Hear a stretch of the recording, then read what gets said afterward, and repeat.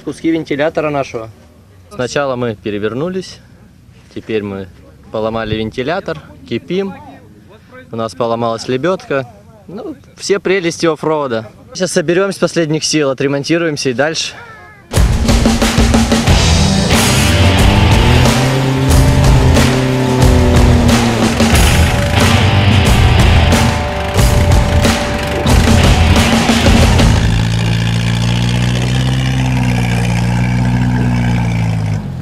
Снимаю патрубок. Мы закипели.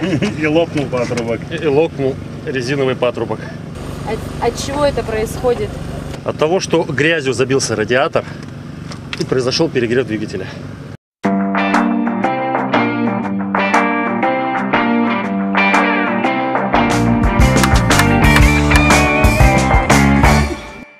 Сутеть лучше, когда я, понимаешь, когда я, такая клять, такая дорога нету. Мало, очень-очень мало.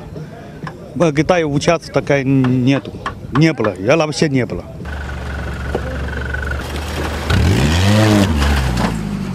Основная задача здесь была создать условия для экипажей, приближенные к грязевым баннам. То есть если у нас э, Белогорск он был больше водянистый, э, то здесь больше грязи мы постарались найти. Ну, как погода нам слегка не подфартила. То есть если бы сегодня был или вчера хотя бы был дождь, то трасса была бы гораздо зрелищнее.